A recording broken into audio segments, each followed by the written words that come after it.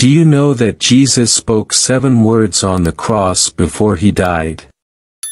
These seven words signifies the perfection of our salvation by his precious and incorruptible blood. Here are the seven words in chronological manner.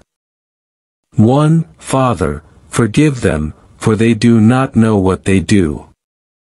Luke 23 verse 34.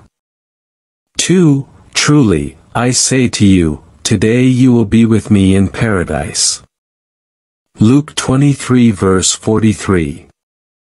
3. Woman, behold your son. Behold your mother. John 19 verses 26 to 27. 4. My God, my God, why have you forsaken me? Matthew 27 verse 46 and Mark 15 verse 34. 5. I thirst. John 19 verse 28. 6. It is finished. John 19 verse 30. 7. Father, into your hands I commit my spirit. Luke 23 verse 46. God richly bless you for watching this video. I believe you have learned something new about our wonderful Savior, Jesus.